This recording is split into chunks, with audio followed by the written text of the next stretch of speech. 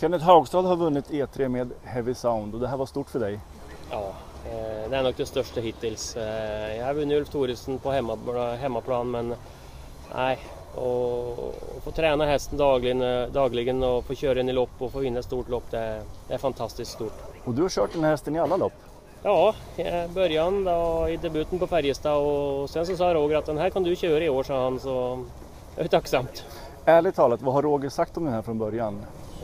Eh, nej, han, hade väl inte, han trodde väl inte så jättemycket på han. Det är väl vissa andra hästar i stallet som man tror mycket mer på men, eh, men jag sa det att eh, han är grym den här. Ja, han har utvecklats bra sa han och det, det såg vi idag. Ja, debuten gjorde han på Färjestad.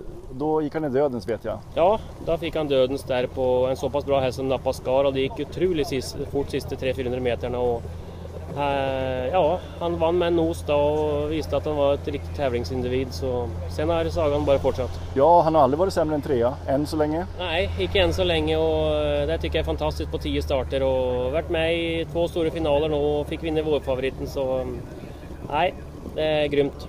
Det känns ju som en kriteriehäst helt klart.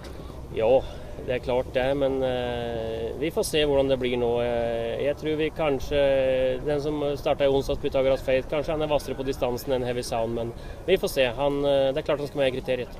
Stort grattis Kenneth! Tusen tack!